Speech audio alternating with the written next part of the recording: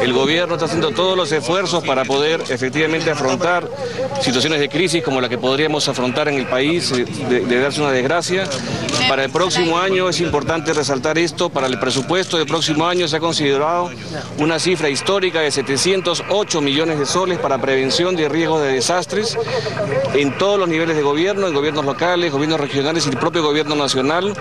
Es una cifra muy importante que tiene que servir para preparar al país a afrontar este tipo de circunstancias de mejor manera. ¿no? Lo mejor es prevenir para efectos de mitigar cualquier circunstancia de lamentable suceso que siempre, lamentablemente en el Perú, estamos eh, proclives. ¿no? Ministro, estamos en vivo para ATV Más. ¿Cuáles serían los primeros reportes en un escenario real? ¿Cuál sería el centro de operación?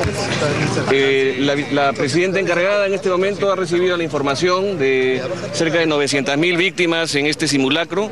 Es un simulacro a nivel nacional, es un simulacro que permite que todas las personas en los centros educativos, en los hospitales, en las oficinas públicas, en las propias empresas estén preparadas y sepan qué hacer en estas circunstancias. ¿no? Es muy importante, como ha dicho la, la presidenta encargada, el, el tema de comunicaciones. Hemos comprobado que en el terremoto pasado, por ejemplo, se saturaron las líneas telefónicas.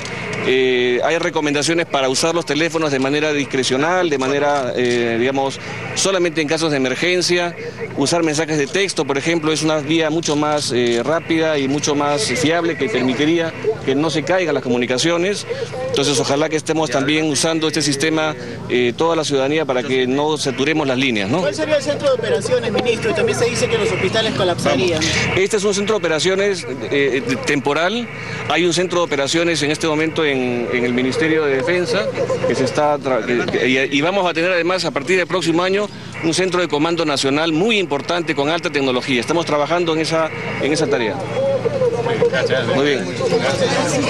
En declaraciones del presidente del Consejo de Ministros, Juan Jiménez, que se instaló en una carpa en la